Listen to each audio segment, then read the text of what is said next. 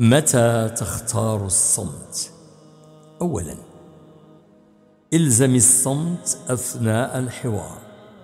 من حسن الخلق وعلو الهمة أن تستمع إلى مخاطبك دون أن تقاطعه ولو كان كلامه في الاتجاه المعاكس. ولنا أحسن أسوة في رسول الله صلى الله عليه وسلم في حديثه مع الوليد ابن المغيرة الذي جاء بكلام يغضبه ويحاول أن يجعله به يتراجع عن رسالته السماوية.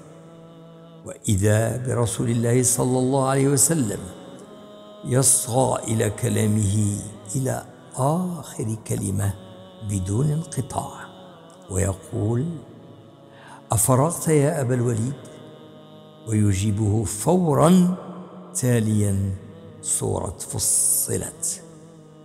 فلما يتكلم أحد أمامك فتذكر أن نصف العلم صمت واستماع والنصف الآخر عمل ونشر. ثانيا إذا كنت في جماعة ولم يكن لك أي إضافة في الموضوع أو الموضوع ليس من اختصاصك أو تريد أن تضيف شيئا قد نطق به غيرك. ثالثا عند الغضب. فلما يكون الإنسان في حالة تعصب يفقد جزءا من عقله وكلما ينطق به يكون خارجا عن إرادته. وفي أغلب الأحيان يندم على ما خرج من فمه من كلام. وخير قرار هو الصمت.